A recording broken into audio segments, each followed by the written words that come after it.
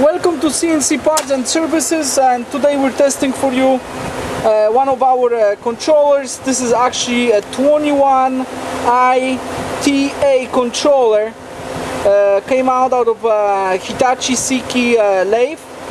So basically this is a Seicos Sigma 21 I don't know if you can see 21L controller. Seicos Sigma 21L controller and it's based on Fanuc 21i TA control. And I just wanted to, um, to uh, demonstrate you that uh, everything is working on that.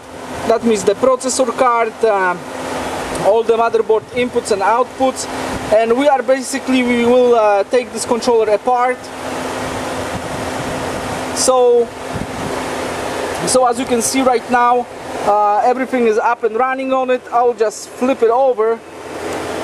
I'll just flip it over on one side so we can take a look on the other side and uh, and see that everything is up and running on that. We have uh, no alarms. The system is ready.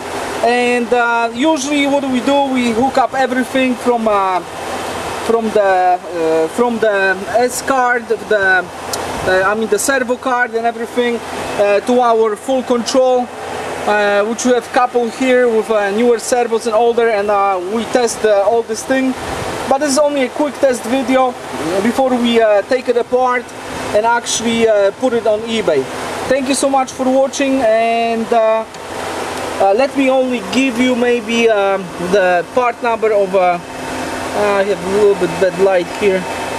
That's a part number of the motherboard, the A20B 8100 0138 and that's working uh, perfectly on it and also the CPU card, the graphic card and uh, we'll test the C, the, uh, the, the uh, FSSB card, the servo card later on.